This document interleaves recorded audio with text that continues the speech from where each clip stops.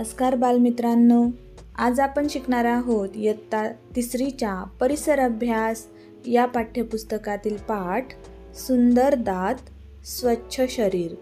या पाठातून आपण दातांची आणि शरीराची स्वच्छता कशी ठेवायची याविषयी माहिती घेणार आहोत. सांगा पाहू तुमच्या वर्गातल्या किती जणांचे दात पडले आहेत? आणि ज्यांचे दात पडले आहेत त्यांना पुन्हे पुन्हा नवीन दात येतील का? काही आजीचे किंवा आजोबांचे सगळे दात पडतात. मग त्यांना दात येतात का? थोडासा विचार करून ठेवा आणि या प्रश्नांची उत्तरं सांगा. आता एक गोष्ट ऐका. सुभाषच्या आजोबांची गोष्ट. आमच्या आळीतील सारी मुले संध्याकाळी खेळायला जमली होती. सुभाष आला नव्हता. तो आजोबांच्या बरोबर दातांच्या डॉक्टरांकडे गेला होता. तीन महिन्यांपूर्वी आजोबांचे दात काढून टाकले होते. आज त्यांना नवीन कवळी मिळणार होती. मोनिका ताई म्हणाली अशी कवळी खऱ्यासारखी दिसते पण ते दात खोटे असतात. पहिलीतल्या अहमदने विचारले नवीन कवळी कशासाठी? माझ्या दादाचे दात पडले होते पण त्याला सगळे दात परत आले. तसे सुभाषच्या आजोबांचे येणार नाहीत का? पहा लहान मुलांचे दात पडतात तेव्हा त्यांना परत येतात. पण म्हाताऱ्या माणसांचे दात पडल्यावर पुन्हा येतात का? नाही. आणि सगळ्यांनाच हसायला आलं. मोनिका ताईने अहमदला समजावून सांगितलं अरे लहानपणी दात येतात ना? त्यांना दुधाचं दात म्हणायचे. ते सातव्या आठव्या वर्षी पडतात. त्यानंतर पुन्हा एकदा दात येतात. त्या दातांना कायमचे दात म्हणतात. ते पडले तर मात्र पुन्हा येत नाहीत बाळू म्हणाला. आणि नाही आले तर नाही आले. खोट्या दातांची कवळी कशाला करून घ्यायची? मोनिका ताई म्हणाली बाळू तू तिसरीत आहेस ना? तुझ्या वर्गातल्या दहा बारा जणांचे तरी दात पडले असतील. तुझेही दात पडले आहेत. दात पडले तर खाताना आणि बोलताना त्रास होतो ना? बाळू म्हणाला हे मात्र खरे.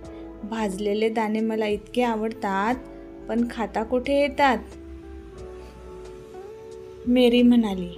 आणि बाळू श म्हणू शकत नाही. पुढचे दात पडलेत ना? श म्हणायला गेला की शिट्टीच वाजते. ते ऐकून पुन्हा एकदा सारेजण हसले. मोनिका ताई म्हणाली आता समजले ना? कायमच्या दातांची काळजी घेणे का गरजेचे असते? तेवढ्यात सुभाष आणि आजोबा परत आले. आजोबा मुलांकडे पाहून हसले. त्यांच्या नव्या कवळीचे दात छान चमकत होते. जरा डोके चालवा.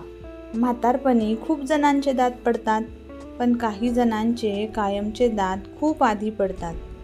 त्याचे काय कारण असावे?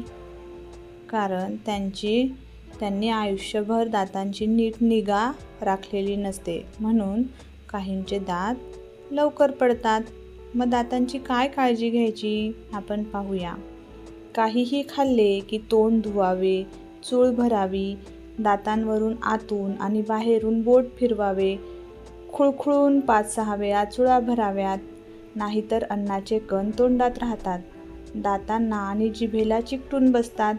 दातांमधील फटींमध्ये अडकतात ते तसेच तोंडात राहिले तर कुजतात त्यामुळे तोंडाला घाणेरडा वास येतो. आणि वारंवार असेच होत राहिले तर हिरड्यासुद्धा खराब होतात. हिरड्यांमधून रक्त आणि पू यायला सुरुवात होते. तीच घाण पोटात जाते त्यामुळे पोटाचे विकार होतात. शिवाय कुजलेले अन्नकण तोंडात राहिले की त्याचा परिणाम होऊन दात किडतात हळूहळू दात हलायला लागतात आणि सरते शेवटी पडतात. हे टाळ टाळायला हवे त्यासाठी रोज रात्री झोपण्यापूर्वी आणि सकाळी उठल्यावर दात घासावेत. त्याबरोबर जीभ आणि हिरड्याही स्वच्छ कराव्यात. दात घासण्यासाठी काही जण कडुलिंबाच्या किंवा बाबरीच्या काड्या वापरतात. काही जण बाजारात मिळणारे दंतमंजन वापरतात. घरी तयार केलेली राखुंडी वापरतात. काही जण ब्रश आणि पेस्ट वापरतात. कडुनिंबाच्या बाभळीच्या काड्या किंवा राखुंडी वापरल्याने दातांमधील फटी पूर्णपणे स्वच्छ होत नाहीत. शिवाय राखुंडी खरखरीत असते. काड्या कठीण असतात त्यामुळे हिरड्यांना इजा होऊ शकते. ब्रश आणि पेस्ट वापरली तर दातांमधील फटी नीट स्वच्छ करता येतात. शिवाय पेस्टचा फेस होतो त्यामुळे फटींमध्ये अडकलेले कण बाहेर पडायला मदत होते. मग सांगा पाहू तोंड धुण्याची सर्वात चांगली पद्धत कोणती आणि का? तर तोंड धुण्यासाठी ब्रश आणि पेस्ट वापरणं हे सर्वात चांगलं कारण त्यामुळे दात छानपैकी स्वच्छ होतात आणि हिरड्यांनासुद्धा इजा होत नाही. माहीत आहे का तुम्हाला? कुठे खरचटले जखम झाली तर अनेक जण जखमेवर ओली माती लावतात. पण ते चुकीचे आहे. त्यामुळे जखम चिघळू शकते. जखमेत पू होऊ शकतो. आता पाहूया शरीराची स्वच्छता लक्षात ठेवा. आपल्या शरीराची स्वच्छता आपणच ठेवू शकतो. घाणेरड्या हातांनी जेवण केले की ती घाण पोटात जाते पोट बिघडते. म्हणून जेवायला सुरुवात करायच्या आधी आठवणीने हात स्वच्छ धुवावेत.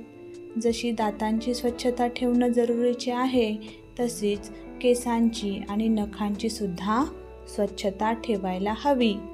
पाच ज्ञानेंद्रियांचीही स्वच्छता ठेवायला हवी. आपण ज्ञानेंद्रिय शिकलेलो आहोत. त्यासाठी रोज आंघोळ करायला पाहिजे. आठवड्यातून एकदा तरी केस धुतले पाहिजे. स्वच्छता ठेवली नाही तर वेगवेगळे आजार आपल्याला होऊ शकतात. पहा खरे हुशार कोण? सकाळी झोपून उठल्यावर सगळेच दात घासून तोंड धुतात. पण झोपायच्या आधी देखील आठवणीने दात घासून तोंड धुतात. ते सगळे खरे हुशार. तुम्ही आहात का हुशार? जेवण झाल्यावर सगळेच हात धुतात. पण जेवायच्या आधी देखील आठवणीने हात धुतात. ते खरे हुशार. म्हणून आता तुम्हीसुद्धा हुशार व्हायचं आहे. आता पाहूया या पाठातून आपण काय शिकलो? लहानपणी जे दात येतात त्यांना दुधाचे दात म्हणतात. ते सातव्या आठव्या वर्षी पडतात. त्यानंतर पुन्हा एकदा दात येतात. त्या दातांना कायमचे दात म्हणतात. कायमचे दात पडले तर पुन्हा दात येत नाहीत म्हणून दातांची काळजी घ्यावी. दात अस्वच्छ असतील तर तीच घाण पोटात जाते. त्यामुळे पोटाचे आजार होतात. खेळताना कामे करताना हात अस्वच्छ होतात. जेवताना तीच घाण पोटात जाते. त्यामुळे पोट बिघडते म्हणून हात स्वच्छ धुवून जेवायला बसावे. केसांची नखांची आणि ज्ञानेंद्रियांचीही स्वच्छता ठेवायला हवी. मुलांनो हे नेहमी लक्षात ठेवा. आपल्या शरीराची स्वच्छता आपणच ठेवायला पाहिजे. समजला का तुम्हाला हा पाठ? आता तुम्ही या पाठाखाली दिलेला स्वाध्याय स्वतः वहीमध्ये सोडवा. जर काही प्रश्नांची उत्तरं आली नाहीत तर कमेंटमध्ये विचारा किंवा आपल्या पालकांची मदत घ्या. धन्यवाद.